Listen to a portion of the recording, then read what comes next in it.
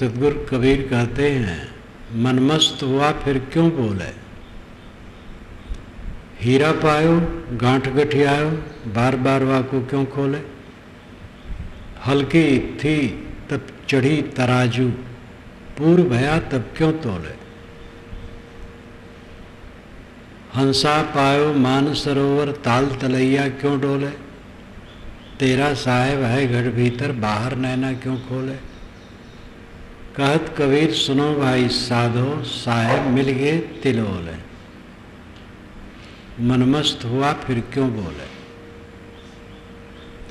हीरा पायो, गांठ गठियायो बार बार वाको क्यों खोले? हल्की थी तब चढ़ी तराजो, पूर्व भया तब क्यों तोले? सुरत कलारी, भई मतवारी, मदवा पी गई बिन तोले। हंसा पायो मान सरोवर ताल तलैया क्यों डोले? तेरा साहेब है घट भीतर, बाहर नैना क्यों खोले? कहत कबीर, सुनो भाई, साधो, साहेब मिल गए तिलोले। मनमस्त हुआ, फिर क्यों बोले? जब मन आत्मलीन हो गया, तब क्यों बोले? यहाँ बोलने का अर्थ विवाद करना। कलह करना बोलने की एकदम मनाई नहीं। है जबान मिली है। जबान में दो इंद्रियाँ। एक ज्ञान इंद्रिय है और एक कर्म इंद्रिय। यह एक ऐसी इंद्रिय है। और बाकी सब अलग अलग है। इसमें रसन है और वाक है। रसन इंद्री ज्ञान इंद्री है। वाक इंद्री कर्म इंद्री रसों का ज्ञान जीवा से होता है। इसलिए ये रसन इंद्री है, ज्ञान इंद्री रस का ज्ञान करने वाले लेकिन वाक इंद्री भी इसमें है। बोला जाता है, जीव न हो तो लोग बोल नहीं सकते। जिब्बा को वश कर लेने पर बहुत कुछ अपने वश में हो जाता है। स्वादा शक्ति जीत लेना और वाणी में संयम कर लेना, ये बहुत बड़ी बात है। जीव की लंपटता मनुष्य के पेट को, स्वास्थ्य को खराब करते जीव का लंपट आदमी काम जयी नहीं हो सकता। काम जयी होने के लिए, काम पर विजय करने के लिए जीव की रसन इंद्री पर विजय करना बहुत ज़रूरी है। स्वादा शक्ति का त्याग। महात्मा गांधी ने अपने ग्यारह व्रतों में अस्वाद एक व्रत माना। अहिंसा सत्यस्ते ब्रह्मचर्य संग्रह, शरीर श्रम अस्वाद सर्वत्र भयवर्जन सर्वधर्म समानता स्वदेशी स्पर्श भावना, विनय व्रत निष्ठा से ये एकादश सेव्य हैं। अहिंसा किसी को तकलीफ़ न देना। विरोधी को भी तकलीफ़ न देना। वो अंग्रेज़ गवर्नमेंट के विरुद्ध थे। वो कहते थे, अंग्रेज़ यहाँ से चला जाए भारत हमारा छोड़ दे। लेकिन वह अंग्रेज़ों की हिंसा नहीं करना चाहते थे। कोई कष्ट नहीं देना चाहते थे। इसलिए अंग्रेज़ लोग भी उन पर विश्वास करते थे। और इंग्लैंड का एक अंग्रेज़ ही आकर के महात्मा गांधी फ़िल्म बनाया। अहिंसा एक ऐसा सद्गुण है जो स्वपक्ष, परपक्ष सबको आस्थावान बना देता है। अहिंसा पर उन्होंने खूब सोचा और खूब काम किया और सत्य का पक्षधर होना। अहिंसा सत्य अस्त्य चोरी न करना। अहिंसा सत्यस्ते ब्रह्मचर्य ब्रह्मचर्य का पालन करना। उन्होंने सैंतीस वर्ष की उम्र में ब्रह्मचर्य व्रत ले लिया और उसके बाद फिर अन्य को भी कहने लगे कि देश को आज़ाद करना है, सेवा करना है।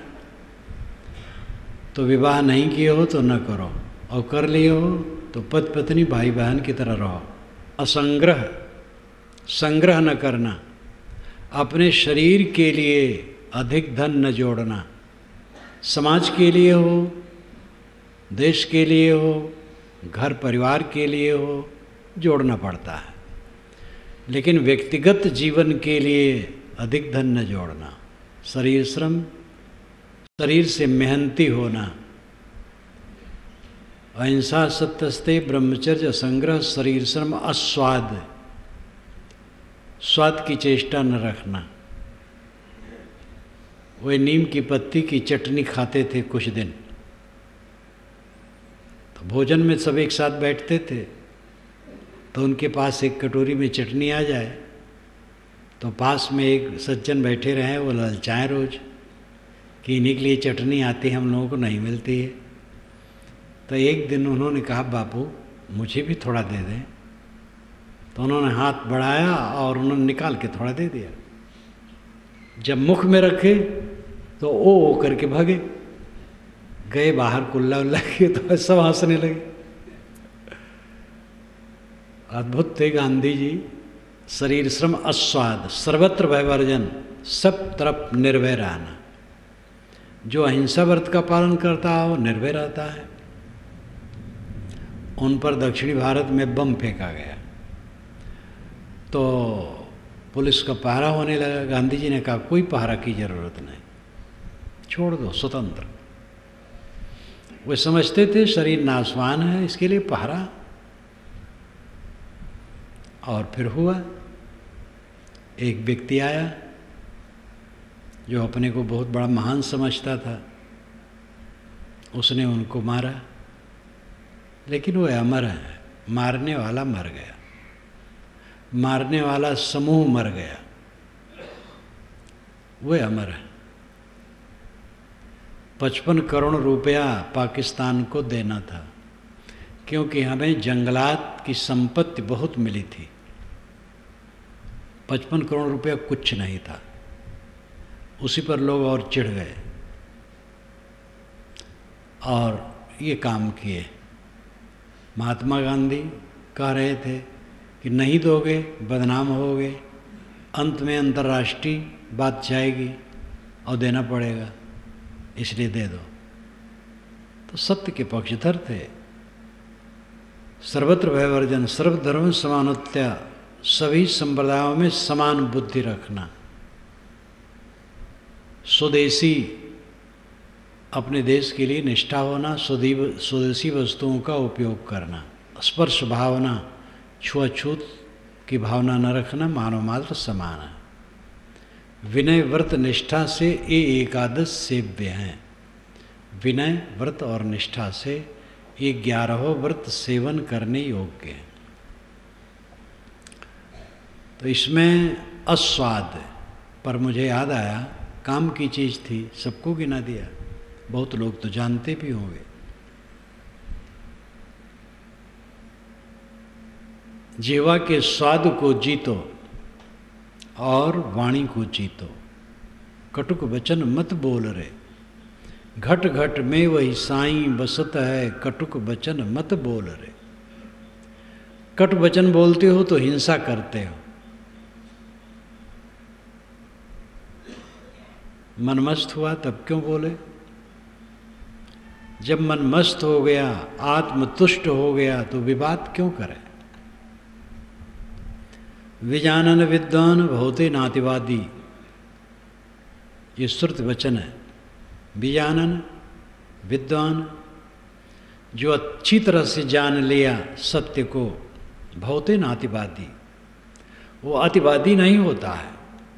बढ़ कर बात नहीं करता है। मनमस्त हुआ, फिर क्यों बोले? हीरा पायो, गांठ गठियाओ बार बार वाकू क्यों खोले? हीरा मिल गया। गांठ में बाँध लिया।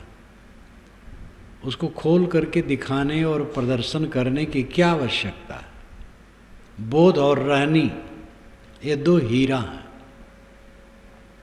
स्वरूप बोध और अंतर्मुखता। स्वरूप बोध, अपने रूप का बोध, अपने पदार्थ का बोध। स्वरूप में दो पद है, एक स्व, एक रूप। स्व नाम खुद रूप नाम पदार्थ। खुद का पदार्थ। खुद का पदार्थ क्या है? आत्मा। और कुछ खुद का पदार्थ नहीं। सब पदार्थ माटी, पानी, आग, हवा के कणों का जोड़ है, जो बन बिगड़ रहा है, जिसमें हमारा मोह है। वो माटी पानी, आग, हवा के कणों का जोड़ है। वो सब अनात्म है, अनित्य है। मेरा पदार्थ तो स्वयं सत्ता है, शुद्ध चेतन, मैं हूँ। ये आत्मबोध हीरा है, आत्मा हीरा है। हीरा तो पत्थर है, हीरम क्या रखा है? और पत्थर ही नहीं है कोयला अंततः बस वही है, मिट्टी, पानी, आग, हवा के कणों का जोड़। लेकिन दुनिया में उसका महत्व तो है। चिकना है, ठोस है, चमकता है। शौकीनों के लिए, धनवानों के लिए फ़ैशन में उपयोग होता है। अब कहीं कहीं मशीनों में भी लगता है। वो घिसता नहीं। हीरा ही से हीरा कटता है दूसरी चीज़ से नहीं। इसलिए अब यंत्रों में भी लगता है वो काम करता। है उदाहरण जितने दिए जाते हैं, वो सब छोटे होते हैं। संसार, सागर। संसार का उदाहरण सागर से दिया जाता है।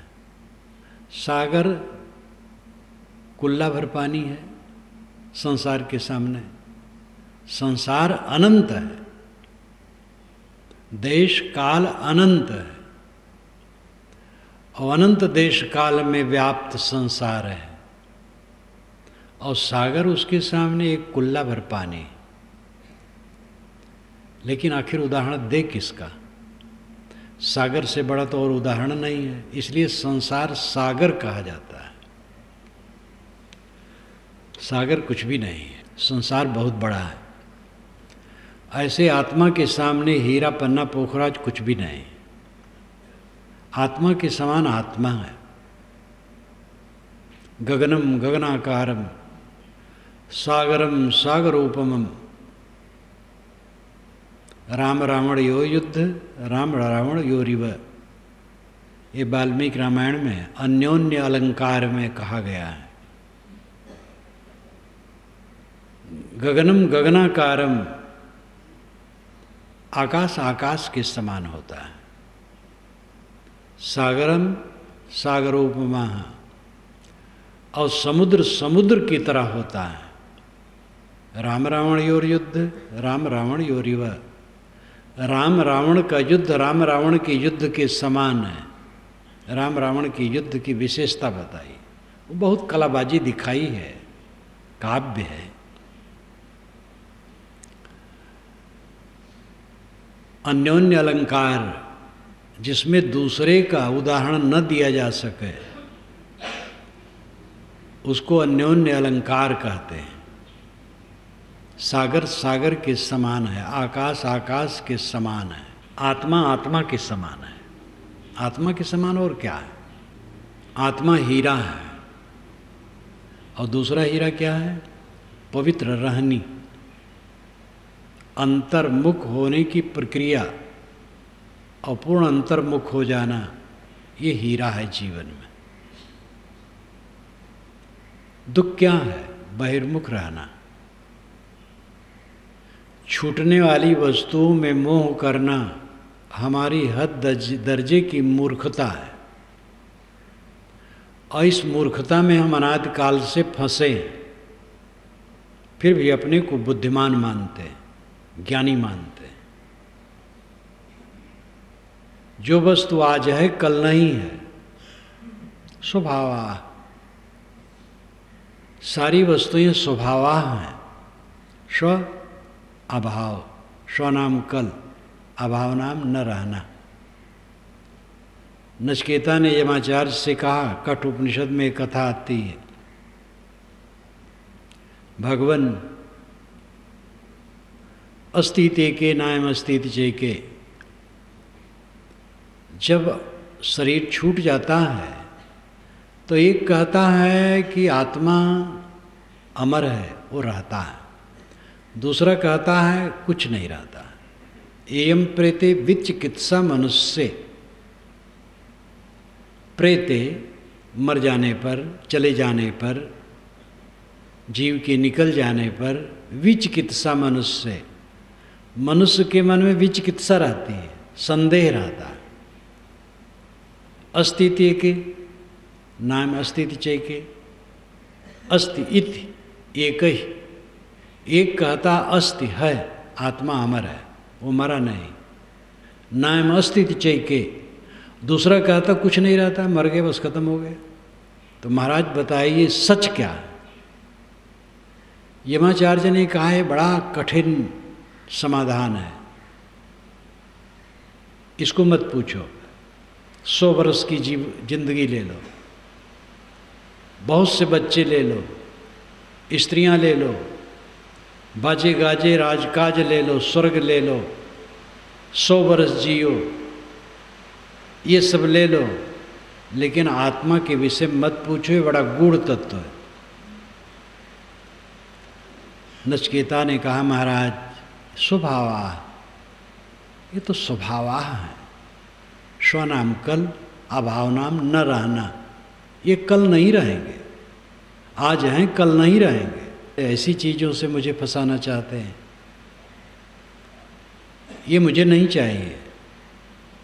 भोगों से इंद्रियाँ जीर्ण होती मन खराब होता है। कौन विवेकवान विषयों का चिंतन करते हुए जीना चाहेगा? आप मुझे बताइए आत्मा के विषय में ही। तो उन्होंने लंबा व्याख्यान अपना दिया है, कठोपनिषद में।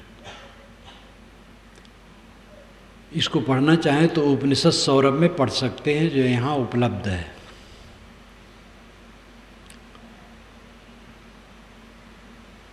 पूर्व एकादश द्वार मजस्यावक्र चेतस अनुष्ठाय न सोचत विमुक्त विमुच्यते। एतद वैतत। है नचकेता पूर्व एकादश द्वार मजस्यावक्र चेतसा। ग्यारह दरवाजों वाला भवन, ये शरीर है। और इसमें एक अज अवक्र चेतन निवास करता है। अज है, अजन्मा है, नित्य है। अवक्र है, शुद्ध, सरल है।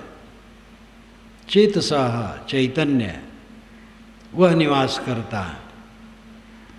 अनुष्ठाय न सोचत। जो इसका अनुष्ठान कर लेता है, आत्मा की उपासना में लग जाता है, आत्मा अनुसंधान में लग जाता है, न सोचत, फिर वो चिंता नहीं करता है। दुनिया की वस्तु की चिंता करना, जो आज है, कल नहीं है, बेवकूफ़ी की बात, न सोचत। विमुक्त वो जीवन भर मुक्त रहता है, अविमुच्यते। जब शरीर छूट जाता है, सदा के लिए मुक्त हो जाता है। एतद वैतत अनचकेता जिसके विषय में तूने पूछा है, वो यही आत्मा है। आत्मा हीरा है। वही अपना धन है, अपना स्वरूप है। जो देह से अतीत है, प्राण से अतीत है, मन से अतीत है, बुद्धि से अतीत है, अहंकार से अतीत है, शुद्ध चेतन है। और रहनी क्या है? अपने को समेटने की प्रक्रिया। चारों तरफ़ से अपने को लौटा लेने की प्रक्रिया। ये रहनी की साधना और पूर्ण अंतर्मुख हो जाना, आत्मसंतुष्ट, आत्मतृप्त हो जाना, ये रहनी है। ये हीरा है। जो इसको पा गया, गांठ में गठिया लिया, हृदय में धारण कर लिया, बार बार वह को क्यों खोले? क्यों उसका प्रदर्शन करे? विवेकवान प्रदर्शन नहीं करते सत्पात्र के सामने बता देते हैं। अमृत, केरी, पूरिया, बहुविधि दिन छोर आप सरीखा जो मिले, ताहे पियावो घोरी। साहब कहते हैं, अमृत की पुड़िया, अमृत की गठरी मैंने हर प्रकार से खोल के रख दी है और घोल करके तुम्हें पिला दिया है। अब आप सरीखा जो मिले, आप जैसे सतपात्र हैं, जिज्ञासु हैं, मुमुक्षु हैं, आप ही जैसा और कोई मिले तो उसे भी घोर के पिला दो। कबीर साहब, में साधु शाहीपन बहुत था। सादा वचन कहना, सिमट के रहना, अन्याय को नहीं सहे, सबका अन्याय सबका कह डाले, लेकिन उनको कोई गाली दे, कोई उत्तर नहीं। सिर झुका लेने वाले, संत थे और क्रांतिकारी थे। क्रांतिकारी का अर्थ होता है आगे बढ़ते जाना, क्रांति। आगे बढ़ने की प्रक्रिया क्रांति न रुकना, न फंसना, न उलझना, न अटकना। कबीर साहब संत थे, आध्यात्मिक पुरुष थे। लेकिन समाज की बुराइयों को देख के वो चुप नहीं रहे। काम उनका बन जाता, न कहते कुछ। कौन ब्राह्मण है कौन शूद्र है कौन किसको बुरा भला कहता है, कौन किसको क्या अधिकार नहीं देता, क्या मतलब? अपना मन समेटो, शांति लो। लेकिन उनको ये सहन नहीं हुआ आदमी आदमी में भेद। हाण चाम का ढांचा सबका शरीर, और सबके अंदर में शुद्ध चेतन तत्व। मौलिकता में कोई अंतर नहीं। और जन्म सिद्ध पूज्य बने बैठे हैं, कि हम जन्म से ही ऊँचे हैं। ये दादागिरी, ये राजनीति, पूरी राजनीति रही है। जन्म से हम पवित्र हैं, और तुम जन्म से अपवित्र हो। घोर षडयंत्र भरा विचार। और इसको उन्होंने ऐसा विदीर्ण किया है, कोई मुरवत नहीं। सीधा सीधा।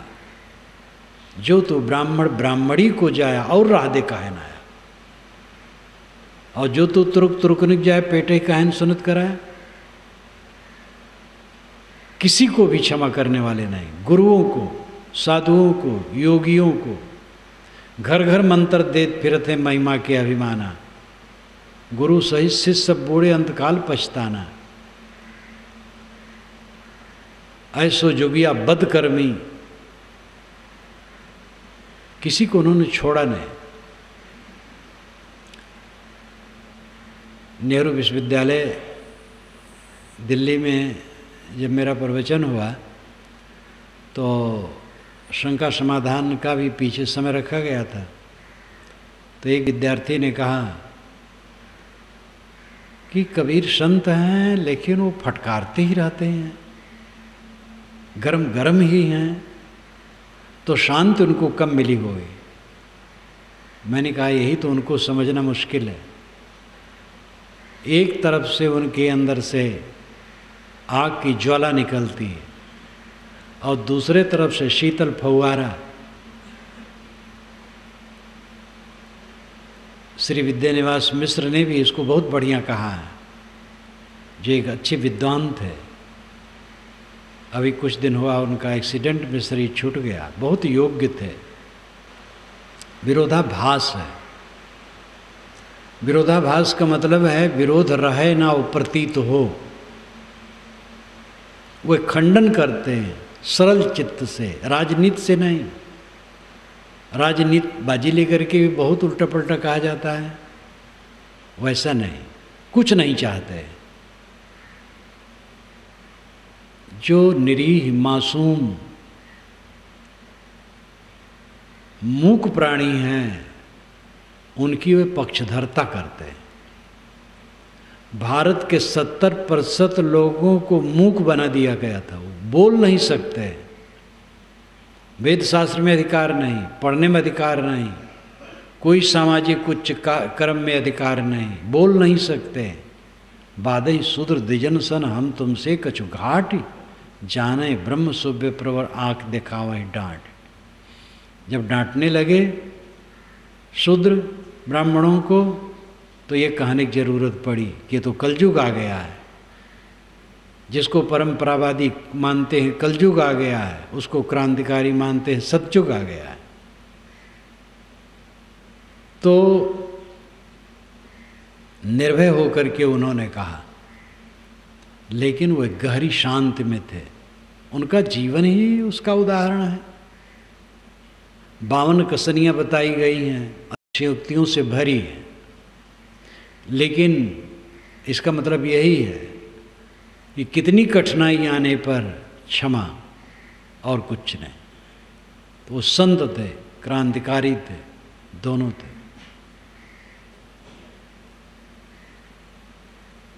आत्मज्ञान और पवित्र रहनी, ये हीरा है। इसको जो पा गया, अपने में पचावे। पात्र कोई हो, उसको ही बता दे। प्रदर्शन में न पड़े, दिखावा में न पड़े।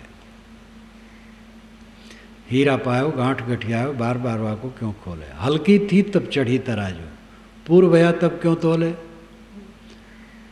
जब तक अपने में हल्कापन होता है, तब तक इंसान तराजू पर चढ़ता है। और जब पूरा हो जाता है, तब तौलता नहीं। इसका लाक्षणिक अर्थ है कि जब तक अपने में अधूरापन रहता है, तब तक हम दूसरे से अपनी तुलना करते हैं। हम सबसे बड़े हैं। बात करते करते ऐसा सिद्ध करना चाहेंगे कि अगले से बड़े हैं।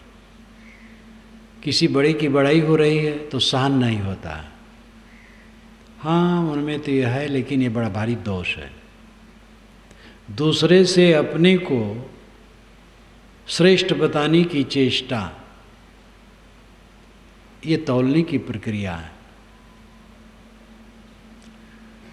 ये अधूरेपन का लक्षण है। दूसरे से तुलना करने की क्या ज़रूरत है? अपने आप में सब अद्वितीय है। राम राम है, श्याम श्याम है। न राम श्याम हो सकते हैं, न श्याम राम हो सकते हैं। सब अपनी जगह पर महान है। अपना काम करना है सारी महानता औपाधिक है। संयोग जनित है,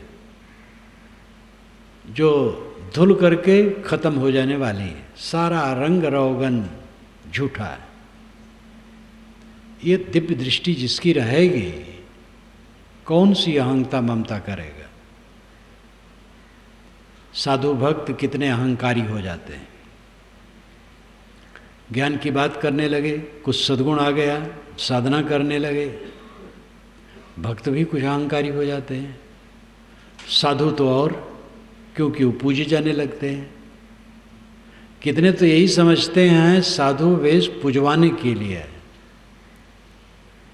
और जल्दी जल्दी साधु वेश मिले और पुजवाऊँ। और साधु वेश हो जाने के बाद तो बस एक ही काम है, लोगों से पुजवाऊँ। महाज्ञान है। साधु वेश एक सरल वस्त्र है। साधना में सरलता है, पहनने ओढ़ने में सरलता है, एक सात्विक भाव उत्पन्न करने वाला है। लेकिन विवेक न हो तो कपड़ा क्या करेगा? कायर आदमी के हाथ में तलवार दे दी जाए, तलवार क्या करेगी? जब वो खुद कायर है।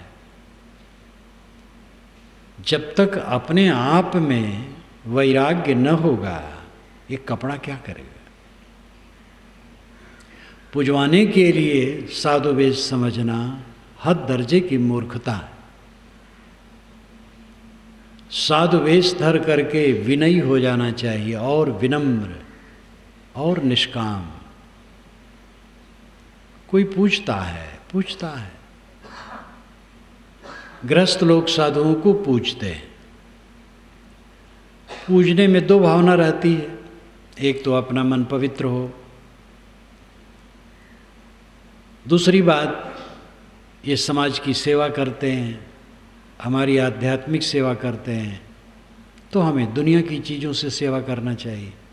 हम दुनिया की चीज़ पैदा करते हैं, लौकिक वस्तु पैदा करते हैं, और यह आध्यात्मिक साधना में रहते हैं और आध्यात्मिक शिक्षा देते हैं तो हमारा काम है कि जो हमारे पास है उससे सेवा करो। तो अंतःकरण शुद्ध के लिए और फिर इसके साथ सेवा करना चाहिए, इस दृष्टि से करते हैं। अपने ही को मान लेना कि हम पूजे जाने के लिए हुए हैं, हद दर्जे का ज्ञान है। साधु सावधान, साधु ब्रह्मचारी। साधु कह देने पर ब्रह्मचारी लोग भी समझ लें, छोटे बड़े ब्रह्मचारी सब। विनम्र रहो सदैव। ये कई बार कहता हूँ कि साधु मार्ग में आने पर स्वाभाविक सद्गुण आ जाते हैं, मोटे दुर्गुण नहीं रहते हैं। और फिर कितने लोग ठंडे हो जाते हैं। अब वो समझते हैं हम तो साधु गुरु हैं। अपने माने रहते हैं हम साधु गुरु हैं। और हमारा यही काम है लेक्चरबाजी। दूसरे में लेक्चर दे दें बस। हम तो पूर्ण हैं। और यही गड्ढे में ले जाता है। अपनी मंजिल तक पहुंचो। मंजिल है स्वरूप स्थित। बीच में ठंडा ना जाओ। सामान्य सदगुणों में संतुष्ट न हो जाओ। सदगुण मात्र आ जाना साधु के जीवन का फल नहीं। साधु के जीवन का फल है स्वरूप स्थित। मन का भय सर्वथा समाप्त हो जाना। जीवन मरण बराबर हो जाना। अंतिम स्थित में रम जाना। ये साधु की साधुता है।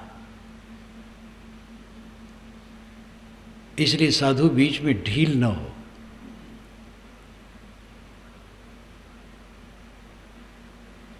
हल्की थी तब चढ़ी तराजू, पूर्व भया तब क्यों तोले? जब तक अपने में हल्कापन होता है, तब तक हम दूसरे से अपनी तुलना करने के चक्कर में रहते हैं। पूर्ण विवेक उदय हो जाने पर कुछ नहीं, सब बड़े हैं हमसे, सारा संसार हमसे बड़ा है। सबसे पीछे और नीचे हमें अपने को रखना है। सबसे छोटा मैं हूँ। सब हीरे हैं, मैं कांच हूँ। ये नहीं कि अंदर से वो अपने कांच मान लेता है भ्रम में नहीं रहता, पूर्ण ठोस रहता। है जो स्वयं अपनी स्थिति में रमता है, इसको देखता है तो भ्रम में थोड़े पड़ जाएगा, लेकिन विनयी हो जाता है। कोई कांच मुझे कहता है, ठीक है, मैं कांच हूँ। दूसरे कोई समझा पाया है आज तक? जो नहीं समझना चाहता है, कोई उसे समझा नहीं सकता है। श्री राम अयोध्या वासियों को नहीं समझा सके।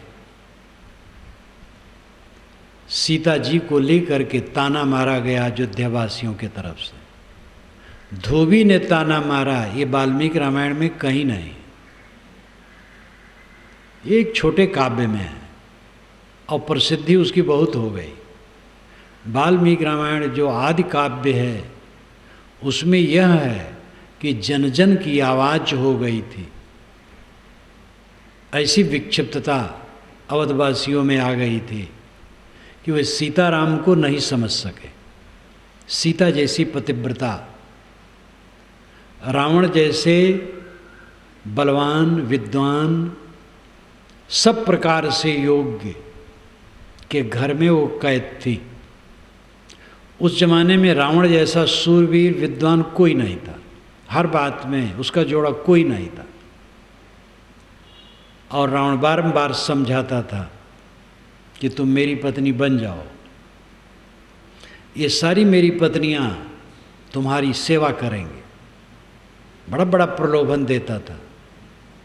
लेकिन सीता कहती थी कि हमारे तो राम हैं और कोई नहीं। ऐसी वीर सीता जी। लेकिन उनको अयोध्यावासी समझे? नहीं समझे। श्री राम उनको ले आए, फिर अपनी पत्नी बना लिए अयोध्यावासियों को खल गया। आप क्या मानते हैं? आप सबको समझा ले जाएँगे? किसको कौन समझा पाया? है जो स्वयं समझना नहीं चाहता, उसको कौन समझा पाएगा? विवेकवान कभी सोचते भी नहीं हैं कि मेरे नाम रूप के प्रति लोग क्या सोचते हैं?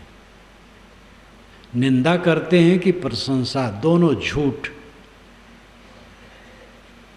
मैं हूँ क्या? मैं अपनी दशा में रहूँ? अंतर्मुख हो जाऊँ, अंतर्मुख रहूँ, संतुष्ट रहूँ, बस हो गया। ये काए काए भाए भाए कौन क्या कहता है? कुछ रखा है? गत वर्ष की बात, दस वर्ष पूर्व की बात, बीस वर्ष पूर्व की बात, तीस चालीस वर्ष पूर्व की बात, साठ वर्ष के पूर्व की बात, आज कुछ है? कल वाली बात आज कुछ है? सब भागा जा रहा है। किस बात को लेकर के हर शोक है? विवेकवान सदैव अंत को देखता है। इसलिए उसके मन में कोई स्पंदन नहीं, कोई कंपन नहीं, कोई चंचलता नहीं। दृढ़ स्थिर, धीरा। कश्चित धीरा प्रतिज्ञात्मान क्षता वृत्ति चक्षु अमृतत्वमिच्छन। कोई विवेकवान पुरुष धीर, ऐसे पुरुष को धीर कहा गया। सब आदमी बहिर्मुख हैं। बाहर के विषयों में प्रलुब्ध हैं। कश्चित धीरा। कश्चित नाम कोई। धीर पुरुष। प्रत्यक आत्मन ऐक्षत। भीतर अपनी अंतरात्मा को देखते हैं, अपने आप को देखते हैं, अपने आप में स्थित होते हैं। ऐसी जगह पर धीर शब्द का प्रयोग श्रुतिवाणी में, बुद्धवाणी में, पुराने शास्त्रों में आता है। धीर। धीर वह है जो डिगे ना, जिसमें कंपन न हो, चंचल न हो, स्पंदन न हो, चंचलता न हो। निंगते, गीता गाती निंगते, न इंगते, इंगन, कंपन। निंगते, न इंगते नहीं चंचल होता। ये अंतिम स्थित है। क्या सुख मिला, क्या दुख मिला, क्या सम्मान मिला, क्या अपमान मिला? कुछ नहीं। सब पानी की धारा की तरह बह जाने वाला है। इसलिए वो तुलना में नहीं पड़ता है। सब बढ़िया हैं, सब अच्छे हैं। और पूरे संसार की करुणा मेरे ऊपर है। कोई मेरी बुराई नहीं करता। मुझे अपने को देखना मैं क्या हूँ, बस। हल्की थी तब चढ़ी तराजू, पूर्व भया तब क्यों तोले? सुरत कलारी भई मतवारी, मदवा पी गई बिन तोले। सुरत कलवारिन बिना तोले मदला पी गई, इसलिए मतवाली हो गई। कलवार, कलवारिन, शराब बनाने वाले, पीने वाले आज कितने कलवार हैं, जो भक्त हैं, संत हैं, सदाचारी हैं। अर्थ यह है कि मनोवृत्त रूपी कलवारिन, ज्ञान की मदिरा अनतोल पी लिया और मस्त हो गई। मस्ती की बात है, इसलिए शराब का भी रूपक है। साहब रूपक देने में बहुत कुशल है। श्रुत कलारी, भई मतवारी, मदवा पी गई बिन तोले। शराब की स्थिति में जो आदमी होता है, गर्गाप हो जाता है, बादशाह हो जाता है। लेकिन जब उतरता है, तब दरिद्र हो जाता है, दुखी हो जाता है। नशा रहता तब भी उसकी स्थिति अच्छी थोड़े रहती है। दिमाग चढ़ा रहता है। शराब छूना भी नहीं चाहिए। लेकिन ये ज्ञान का शराब, वैराग का शराब, भक्ति का शराब, जिसका फल होता है कि कुछ मेरा नहीं है, कोई मेरा नहीं। ये पक्की निश्चयता, सारी अहंता ममता समाप्त। जिसकी सारी अहंता ममता समाप्त हो गई, उसके मन में कौन सी पीड़ा रहेगी?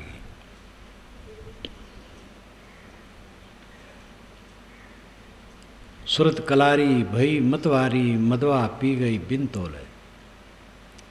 हंसा पायो मान सरोवर, ताल तलैया क्यों डोले? हंस मान सरोवर में पहुँच गया। अब कीचड़ भरे, ताल तलैया में वो क्यों डोले? मान सरोवर, बाहर सत्संग, भीतर स्वरूप स्थित, शांति। मनुष्य को चाहिए सदैव सत्संग का आधार लेकर के रहे। साधु सत्संग में रहे, गृहस्थ भी समय समय से सत्संग का आधार लेता रहे। सदग्रंथ जो संत का प्रतिनिधि है, उसे रखे और खूब पढ़े। अपने घर में ऐसा वातावरण बनाए कि सत्संग हो जाए। सद्गुणों का विस्तार करो, घर में सत्संग हो जाएगा। स्वयं क्षमा करो, आपकी पत्नी भी क्षमा करने सीखेगी। स्वयं मीठा बोलो, आपका लड़का भी मीठा बोलना शुरू करेगा।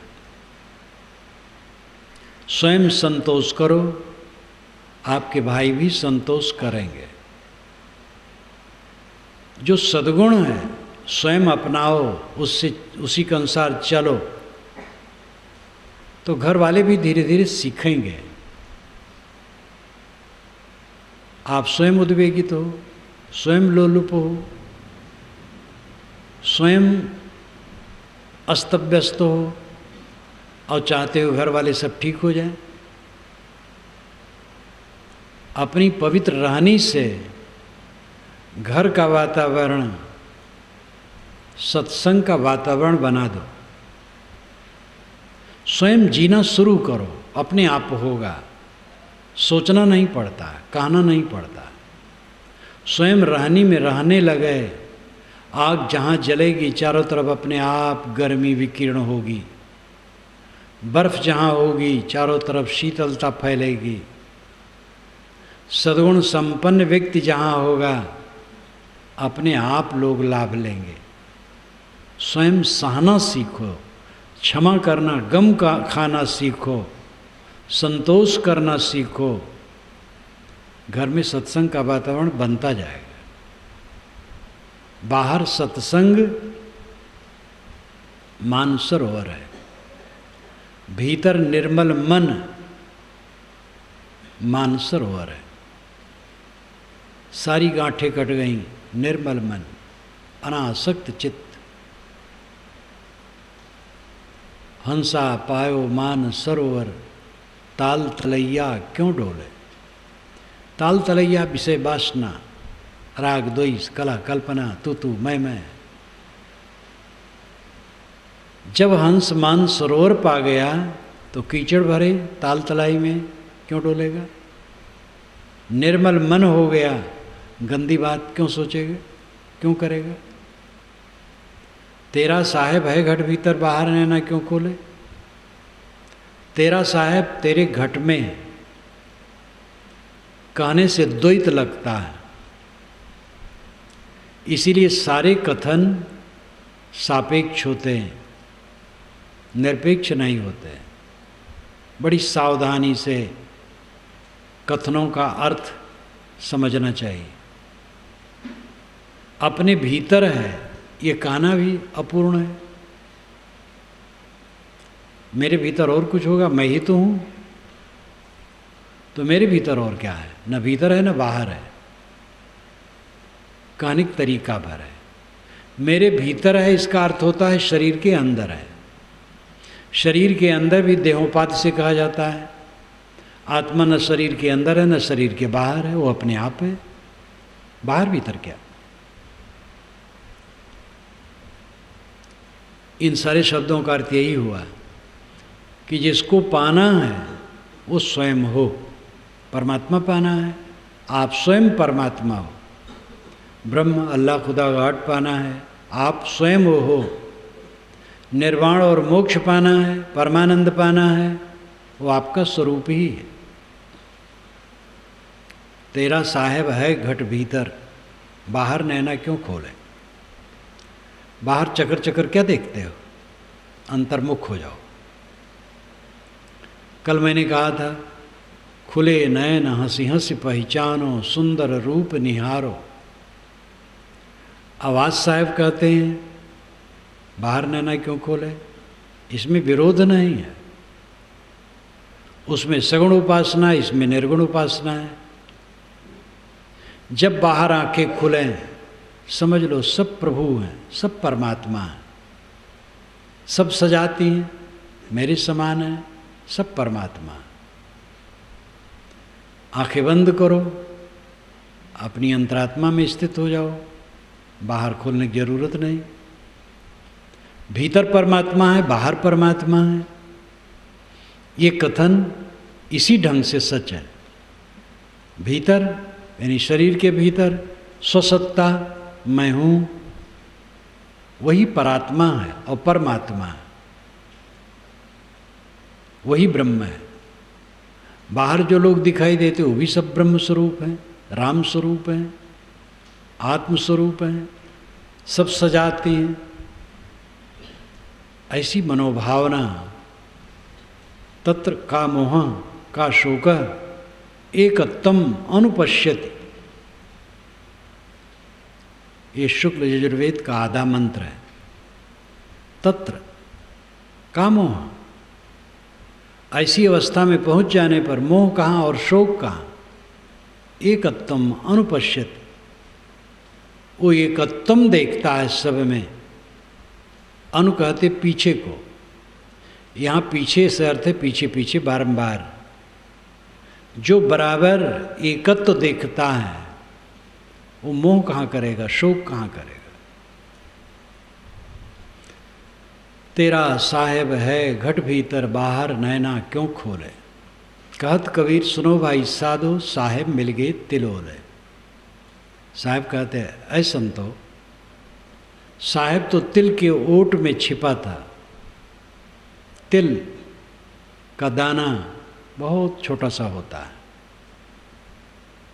वो भी बहुत बड़ा है, पर्वत बराबर है, आत्मा के सामने।